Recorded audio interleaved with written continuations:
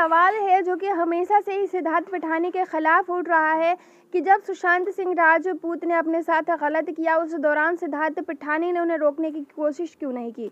क्योंकि हम सभी जानते हैं कि सिद्धार्थ पिठानी अपने आप को लगातार सुशांत का बेस्ट फ्रेंड बोलते हुए नज़र आ रहे हैं।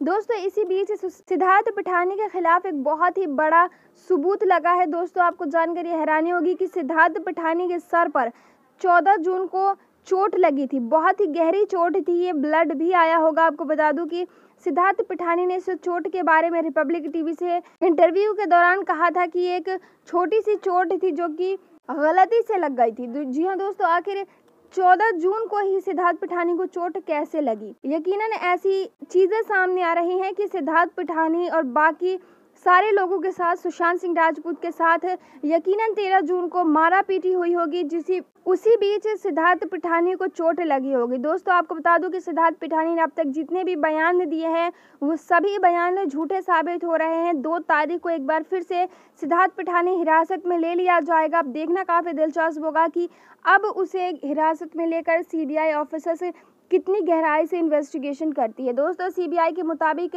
फ़र्स्ट राउंड का इन्वेस्टिगेशन कंप्लीट हो चुका है। दूसरे राउंड की इन्वेस्टिगेशन जारी है और उसमें भी आधी इन्वेस्टिगेशन हो चुकी है।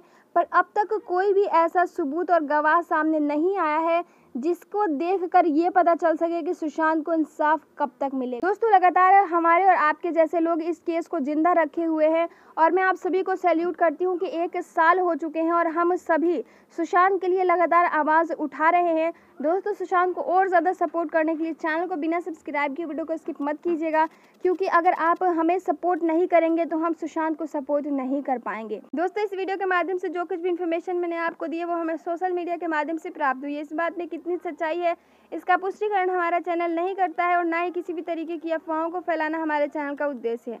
आपका कीमती समय देने के लिए हमें धन्यवाद।